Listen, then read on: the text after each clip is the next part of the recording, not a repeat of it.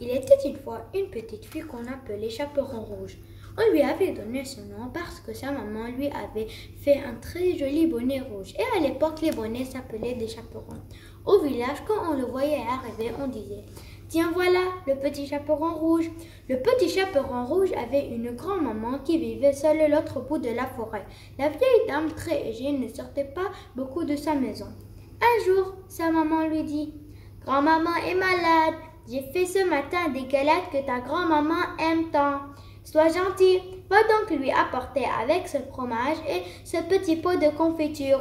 Mais ne quitte pas le sentier car papa a vu des loups qui rôdaient dans la forêt. Le petit chaperon rouge promit de se modifier, puis toute joyeuse, elle se mit, elle mit sa cape rouge, son bonnet rouge et elle prit son petit panier. Ne traîne pas en chemin, recommanda maman. Ne parle à personne et reviens avant la tombée de la nuit. Le petit chaperon rouge lui donna un grand baiser et partit en sautilant. Or, tout près de là, un loup affamé rôdait dans les bois. Soudain, il vit un enfant. Miam, miam, lui monta à la bouche et il lécha les bamines en pensant au succulent dîner qu'il allait faire. Mais pas ici, pense-t-il, on pourrait me voir de la maison. Il s'approcha de la petite fille. Bonjour, lui dit-il. Le petit chaperon rouge se mit à trembler en apercevant le loup, mais celui-ci reprit en souriant jusqu'aux oreilles. Comment t'appelles-tu? Le petit chaperon rouge répond peureusement l'enfant. Et, et où vas-tu? Et où vas-tu comme cela? demande l'autre d'une voix douce, une voix si douce que la petite fille se sentait aussitôt rassurée. Je vais chez ma grand-mère, expliqua le petit chaperon rouge. Elle habite tout au bout du sentier. Le loup connaissait très bien la petite maison. Excuse-moi, dit-il, je suis pressé. J'ai été ravi de faire ta connaissance. À bientôt. À ce moment, il s'enfuit à toutes jambes dans la forêt et ayant pris un raccourci, il arriva bon le premier de la euh, maison de la grand-mère. Toc toc, il frappa. Qui est là demanda la vieille dame du fond de lit. Le petit chaperon rouge, sursura le loup qui était très doué pour les imitations. Tire la serviette et la bobinette s'écrie la grand-mère toute joyeuse de voir sa petite fille. Le loup tira la serviette et la porte s'ouvrit. La grand-mère sursauta d'effroi. Laisse-moi en vie, supplia-t-elle. Je te donnerai toutes mes provisions. Mais le loup avait un grand projet plus important. Il se précipita sur la grand-mère, lui arracha sa chemise de nuit, son bonnet de dentelle. Il, il enferma la vieille dame dans une armoire. Sans perdre une seconde, il enfila la chemise et le bonnet, puis se coucha dans le lit, tira la couverture de laine jusqu'à son nez et il attendit. Pendant ce temps, le petit chaperon rouge arriva avec son panier de provisions et un beau bouquet de fleurs qu'elle avait pris euh, le temps de cueillir. Elle frappa à la porte. Toc toc. Qui est là? demande le loup, imita la voix de la grand-mère. Le petit, le petit chaperon rouge. Tire la serviette et la bobinette s'écria le loup. La petite fille se osa sur la pointe des pieds, tira la serviette et elle entra. Toute souriante, elle se dirigea vers le lit de la vieille grand-mère, mais en s'approchant, elle se dit que sous son bonnet, sa grand-mère avait vraiment une drôle de tête ce jour-là. Oh, grand-mère, tu as de grands yeux. C'est pour mieux te voir, mon enfant, dit le loup en gloussant. Tu as de grandes oreilles. C'est pour mieux t'entendre, mon enfant. Et tes dents s'écria le petit chaperon rouge. Tu as de grandes dents. C'est pour mieux te manger, mon enfant, hurla le loup.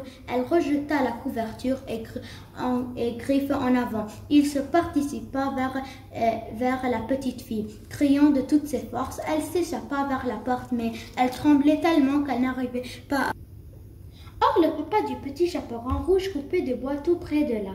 Entendait des cris, il courait à toute allure vers la maisonnette. En arrivant, il aperçut le loup et le petit chaperon rouge à travers la fenêtre.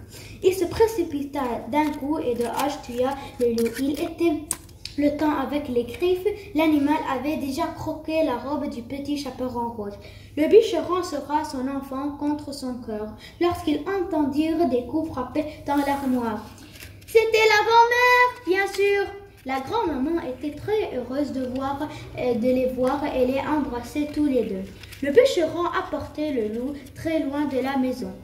Euh, le grand, la grand-maman fit le promettre au petit chaperon rouge de ne plus jamais parler à aucun loup, même s'il avait l'air gentil. Heureusement, les galettes, du fromage et le pot de confiture étaient encore dans le panier. Le petit chaperon rouge et sa grand-maman s'en régalent tout, en se promettant de se, de se voir plus souvent. Mais sans les loups cette fois, dit grand-maman.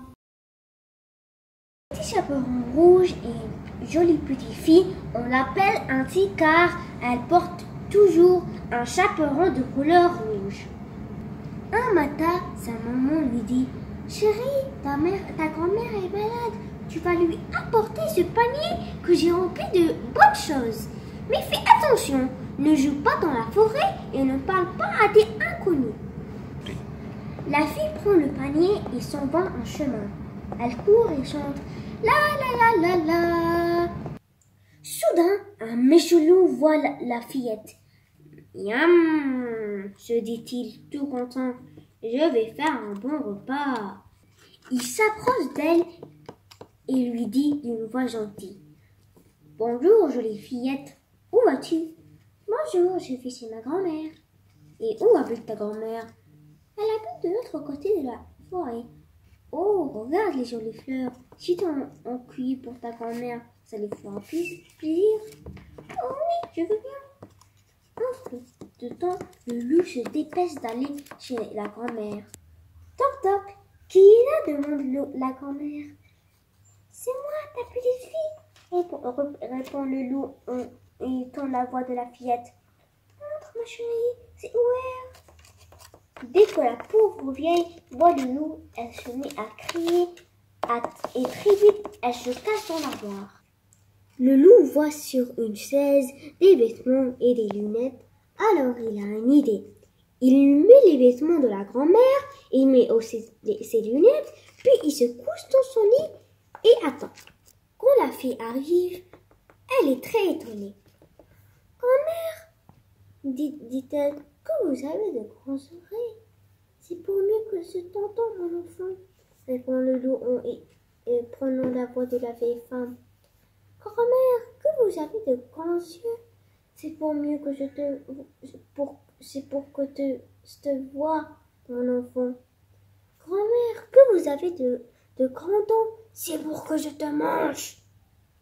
Et le méchant loup se jette sur la petite chaperon rouge et qui se sauve en criant Au secours Au secours Un chasseur entend ses cris. Il a couru. Le loup a peur, il s'enfuit très vite. C'est alors que la grand-mère sort de l'armoire. Elle remercie le chasseur et lui offre des, petits gâteaux. Depuis ce jour-là, le petit, le rouge ne joue plus en chemin.